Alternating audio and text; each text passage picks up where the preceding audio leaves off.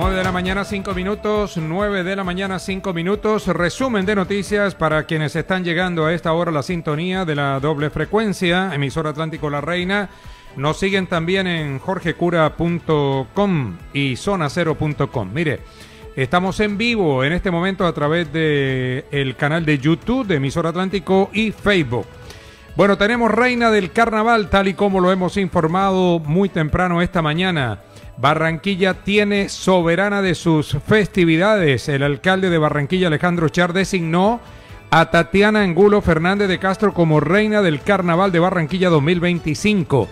Tatiana, de 24 años, fue integrante del disfraz colectivo Los Gorilas.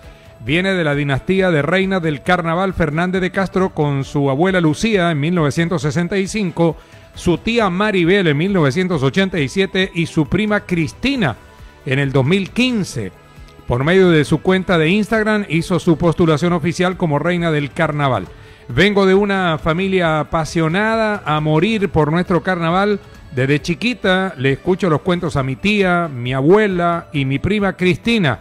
Con ellas pude vivir la fiesta más linda que tiene Colombia. Cada una me ha enseñado lo que significa el carnaval de Barranquilla.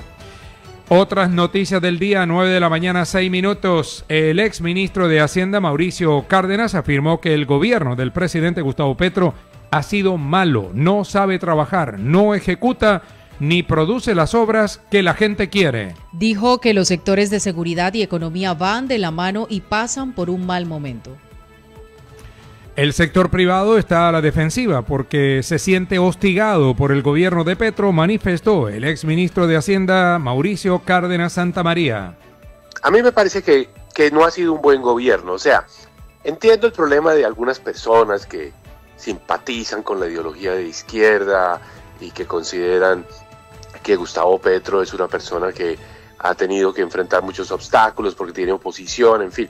Todo eso lo hemos vivido quienes hemos trabajado en gobiernos, o sea, oposición, eh, complejidades, eh, fallos, decisiones que no necesariamente le son favorables a los gobiernos, medios de comunicación que también en un momento dado pueden estar en una orilla más crítica. Todo eso es normal, todo eso es parte de la democracia. Entonces, al gobierno no, no hay que evaluarlo sobre la base de que es que la, el, el, entorno ha sido difícil y hostil, entonces por eso no ha podido hacer nada, como decía el oyente que le puso una calificación de 11 al presidente Petro.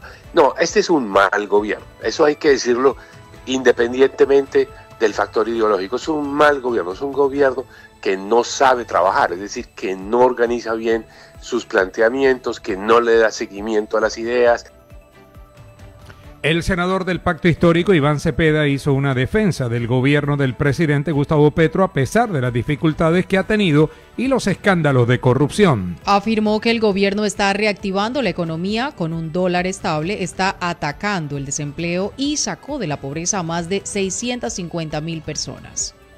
El debate sobre este gobierno se debe realizar sobre realidades y no sobre ideologías, afirmó Cepeda quien aseguró que de acuerdo con las estadísticas del Ministerio de Defensa, la seguridad viene mejorando en las ciudades capitales del país.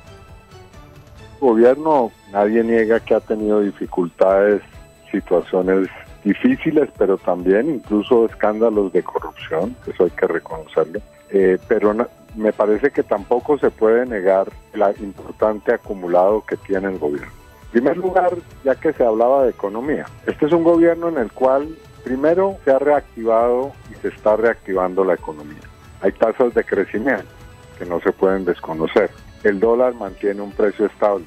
Ha habido un decrecimiento de la inflación. Está decreciendo el desempleo. Este gobierno ha llegado a cifras muy significativas. El año anterior, 9% de desempleo. Es decir, estuvo a punto de llegar a una cifra histórica en materia de reducción del desempleo. El presidente el 20 de julio señaló que 650 mil personas han salido de la pobreza según datos oficiales. Entonces, el senador del Centro Democrático Miguel Uribe calificó al presidente Gustavo Petro de vago, ausente e incumplido. Aseguró que el gobierno de Petro fracasó y que el mandatario ha demostrado incapacidad para gobernar con un país que está volviendo a los años 80 y 90 atacado por las acciones del narcotráfico y la guerrilla.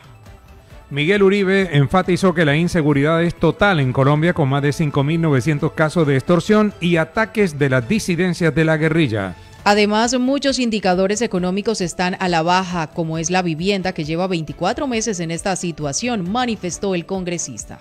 Es evidente, Jorge, que Gustavo Petro fracasó. Dos años después de haber sido posesionado, es evidente que este es un gobierno de promesas incumplidas, de capacidad para gobernar y de hechos de corrupción. Aquí, tanto Gustavo Petro como Iván Cepeda y, Cepeda y todos sus amigos describen un país que no existe.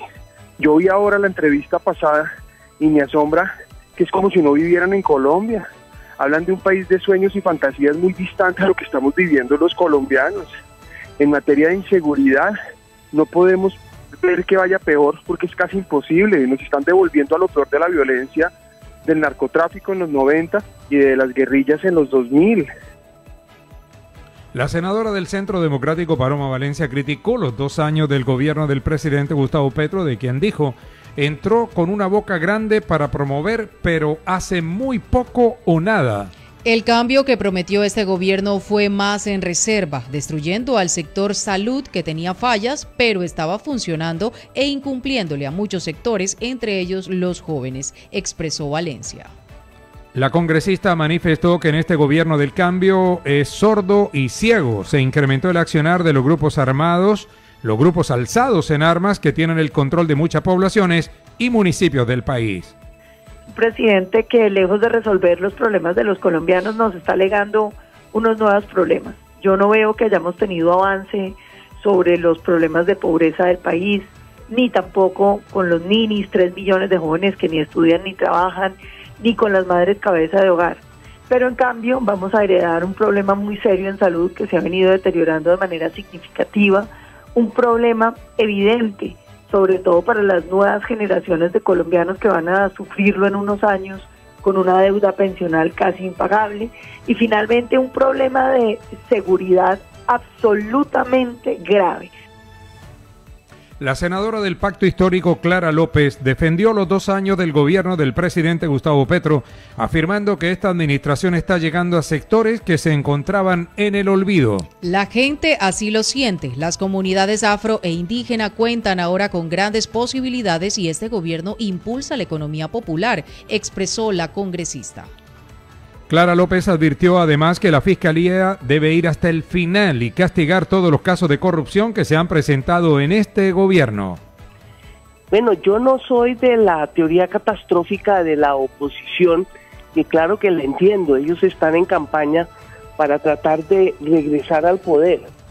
Pero yo diría que lo más importante de estos dos años es que la mentalidad del país cambió cambió en función de que no podemos seguir creciendo sin distribuir los beneficios de ese crecimiento. Y por eso eh, el presidente Petro, en su Plan Nacional de Desarrollo, incluyó sectores que jamás habían aparecido en un plan de desarrollo, el de la economía popular, los indígenas, los afros, los territorios olvidados, en esos donde hay tanta inseguridad, ahora está llegando el dinero del Estado para hacer las pequeñas obras que significan todo. El abogado Abelardo de la Esprilla calificó con menos cero al gobierno del presidente Gustavo Petro y afirmó que este gobierno es terrible y nefasto para todos los colombianos. Afirmó que Petro es un delincuente y criminal que con su gobierno solo busca debilitar la democracia y la institucionalidad y viene entregando territorios a los grupos alzados en armas.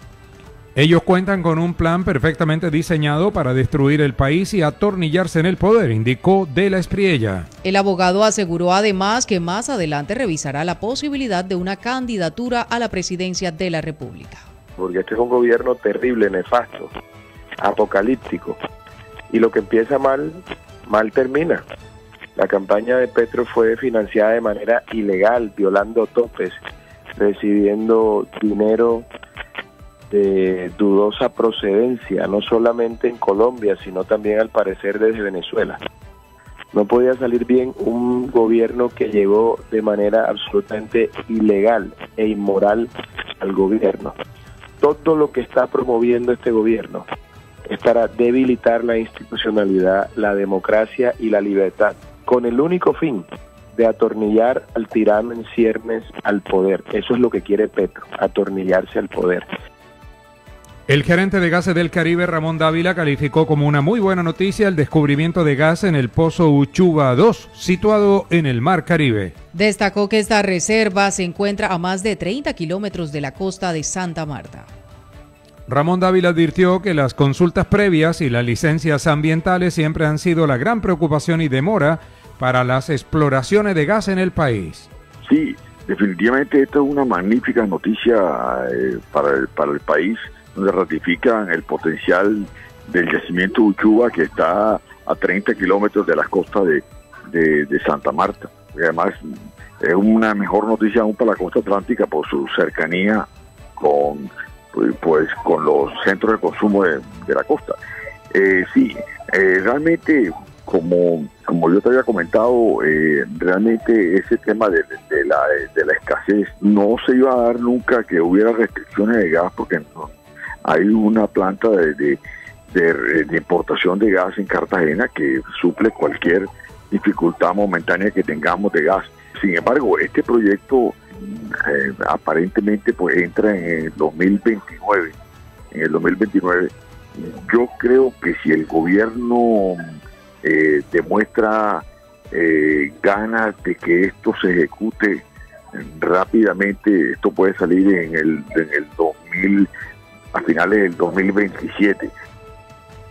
El director de la República, Fernando Quijano, advirtió que en los próximos dos años serán muy duros lo económico para Colombia y advirtió que se requiere que el gobierno nacional cumpla con las inversiones, acabe con la incertidumbre y genere confianza para los inversionistas. Afirmó que al gobierno durante los dos últimos años le fue mediocremente bien en lo económico y señaló que el presupuesto general de la nación del 2025 por, dos, por 530 billones de pesos que fue presentado ante la Cámara de Representantes no cuenta con fuentes de financiamiento. Quijano explicó que este proyecto debió ser presentado ante la Comisión Cuarta de la Cámara para su estudio, anotando que lo que busca el gobierno es que sea aprobado a pupitrazo en la Cámara. Advirtió que el país debe continuar con la producción de petróleo, carbón y café para el fortalecimiento de la economía.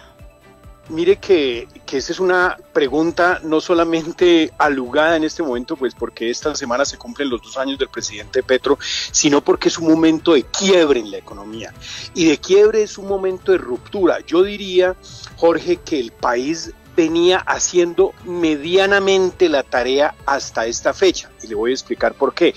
Digamos, en los fundamentales, es decir, lo que tiene que ver con el crecimiento económico, la inflación, el desempleo, pues el país iba relativamente en las mismas condiciones que le habían antecedido pedido los anteriores mandatarios. Un país con una inflación, una inflación a la baja, digamos, podemos estar hablando que este año puede cerrar en torno al 6%, un desempleo de 2 millones y medio de colombianos que siempre es como lo normal, un crecimiento mediocre, eh, inferior al 2%, el año pasado fue el 0%, pero había una tranquilidad en el manejo de las finanzas estatales. El senador Carlos Meisel consideró que el presidente Gustavo Petro no tiene información sobre las afectaciones que causará a las comunidades por el cobro de la valorización la carretera Barranquilla-Cartagena. Petro desconoce totalmente lo que pasa en la zona de influencia donde se pretende cobrar este gravamen, insistió Meisel. El congresista le hizo un llamado al gobierno nacional para que intervenga y cumpla con las inversiones en favor de esas comunidades. Mire, Jorge, lo primero es que es positivo que el presidente esté pendiente de los debates del Congreso, ojalá y vaya entonces a defender sus posturas y no desde X. Lo segundo es que es un desconocimiento total. Primero porque no es una obra que se le debe a la nación, por lo tanto no es la nación quien tiene que estar sacando pecho sobre la obra y mucho menos 30 años después. Segundo, el presidente desconoce totalmente, totalmente Jorge, lo que pasa alrededor de la zona de influencia donde quieren cobrar la valorización. Ahí hay ciudadanos de todo tipo y proyectos de todo tipo. Sí, claro, por supuesto, existen casas como Aguamarina, por ejemplo, que son grandes condominios, pero también existe una segunda vivienda de un ciudadano de clase media que con mucho esfuerzo la construye, otro que se